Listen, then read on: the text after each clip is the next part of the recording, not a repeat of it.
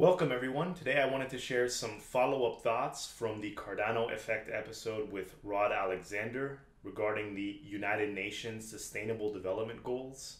I had an idea, I've been thinking about it for a few weeks now, and it's to address this whole idea of decentralized finance and allowing the unbanked to finally be banked or finally participate within this ecosystem. So, having access to loans and whatnot.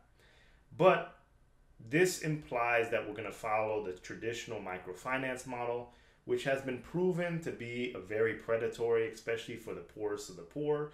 While you are accessing or you are giving them the access to loans, these often are met with high interest rates, and uh, the poorest of the poor are forced to take loans to pay off other loans. And unfortunately, these people do not even have a voice, so these stories are largely underreported.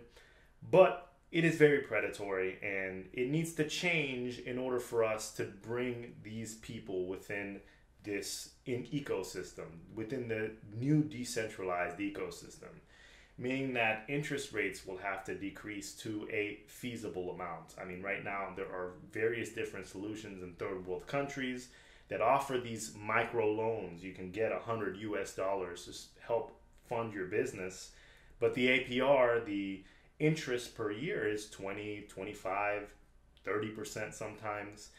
And it differs, it doesn't greatly differ from the traditional model of these payday loans or these things that are looked at as predatory, but they tie the name microfinance to it, and all of a sudden you think that it's more revolutionary than it actually is.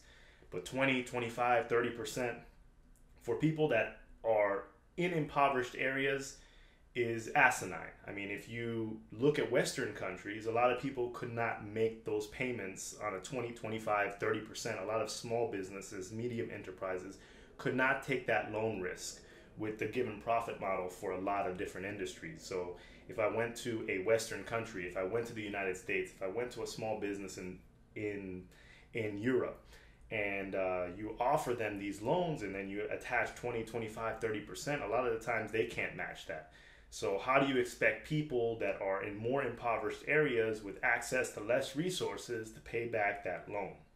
But at the same time, you are loaning people money that you don't know. And there's this whole idea of identity, creating some sort of rating system. So, how do we bring these people in, offer loans, but also offer returns to the investors who are providing the loans? And one of the models that I think that could work is a little bit different from the traditional model. It's this idea of fast or quick loans, but they're even more micro, they're even more condensed. Taking it on a day by day basis and offering returns based on day output or day supply or day sales. And let me explain. The United Nations Sustainable Development Goal number eight is decent work and economic growth. So I take this example from a third world country that is very close to the United States and I have a lot of ties to, and that is Haiti. Haiti is a very impoverished nation. It's in the Caribbean, just south of Florida, and this is one of the poorest countries in the world. when you go to Haiti, you see that businesses run differently there. If you've ever been to Haiti or if you've ever been to the streets in Port-au-Prince, you see that there are a lot of vendors, a lot of sellers that are selling produce, that are selling vegetables, a lot of street vendors. So people are very, they have an entrepreneur mind state. So a lot of people are selling in the streets. But the at the end of the day, I try to figure out where these people are getting the actual supplies, and how are they getting the money to fund their inventory? Because these are the poorest of the poor. They're not making a lot of money per day. I mean, the middle class wage, the middle class, so middle class in Haiti earns $5 a day. So these people wouldn't even be considered middle class that are selling vegetables in the street, selling food in the street, selling water. So they're making a lot less. So how do they get their inventory? Where do they get their inventory? They often go to these depots to pick up their produce or pick up their vegetables, and they're taking loans on their inventory, and it could be extremely predatory. So they are they may only have 10 to 20 or maybe $30 of inventory, USD valuation of food, and they're paying interest on that inventory. So if they don't sell that inventory, then they're just accruing interest and it's harder to re up on inventory.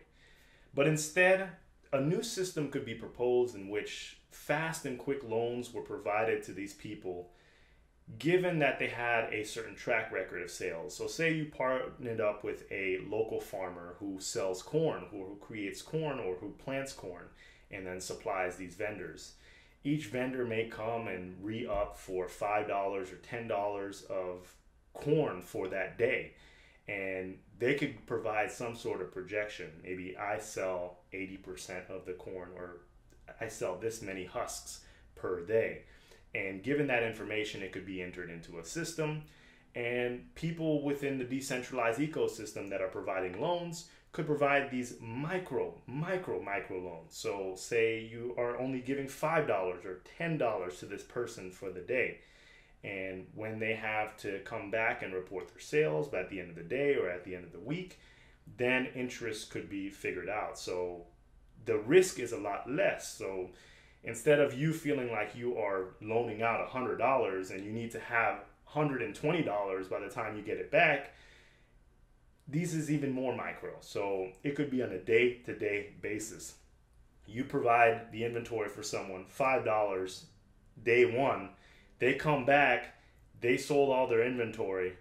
They may, may have made five, $6, $7, and they only pay 1% or 2%, a fraction of a percent and people would be more willing to loan out money if it was in smaller amounts and you could take risks so certain people certain vendors could build up their rating systems about how many different times they actually went back to the queue and reported their sales.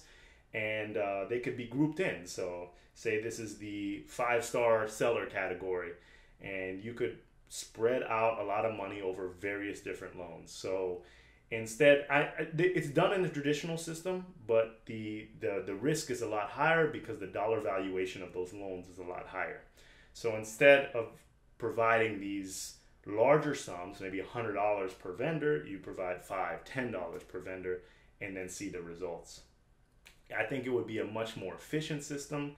And if you compare this with staking, depending on how the loan would be administered, whether it be an ADA or whether it be in a stablecoin, you may be getting 1% back for your for your loan investment in a week rather than your 4 to 5% that you expect to receive yearly via staking. So I'm not sure exactly how that would work, but it would have to work in the way that the loan system would have to be adopted by the farmer and the and the people that are actually taking loans out in order to provide their inventory in order to sell on the street would have to have that direct relationship with that farmer. It wouldn't work with the middleman that currently exists because they have a loan based model and they're they're taking risk and they want to make sure that they keep their the same business model intact. But all I'm saying is reduce the reduce the size of the collateral required to give loans, increase the frequency of the loans, do it on more of a just in time business model, so just in time loans for the people that are most impoverished. This way, you are addressing needs that are current to like current, I'm talking about weeks to months or to days. So the needs are met exactly there. Instead of drawing out a business plan that may take a lot longer to build, may take a lot more client, uh, uh, may take a lot more energy in order to start seeing returns and I think this is where people go awry. People in the United States, people in Western Europe, you always given this business metric. You know, it starts. It takes like three years in order to start generating a profit for businesses, and most businesses fail. So even after that three-year period, most of them just go down. So we are requiring. We are right now the current system. You're providing these microfinance loans that are 20, 25, 30 percent APR and then you're requiring these people who are creating a business and not giving them the same amount of time in order to build their business and uh, they're just accruing debt debt debt and they're loaning upon loans loaning upon loans and they have no voice so it, it leads to complete inequities in the system and people get taken advantage of people get taken advantage of at the bottom level So instead, providing more loans, instantaneous loans for day to day expenditures or week to week expenditures or month to month expenditures. Things that can be verified that day, that moment. Someone is selling uh, shaved ice in the streets. They know they sell 40% on Monday, or they can fill fill out this this portion of their cart on Monday. They need a loan for that amount of money. They can say that, oh, I'll, I'll be done with this in a couple weeks. Submit the submit their submit their loan request in the app get instantaneously funded by someone who is looking for that type of loan to for, to give that type of loan and then move on forward from there. So yes, I think that this is something that could be built. Um, I think that this is something that's a little bit more innovative than the current model of looking at microfinance. It's more just in time. It's more appropriate for certain business needs we don't want to microfinance is a buzzword and it, it, it doesn't work in most situations so we need to try to figure out ways to revolutionize the system in this decentralized economy let me know what you think let me know if you have any ideas but i thought this would be a good idea moving cardano forward or moving blockchain forward in that particular direction of offering more instantaneous and differing the business model where you're working directly with the farmer and the seller rather than the middleman who is providing the liquidity for these vendors in the street. Let me know what you think, and until the next video, thank you.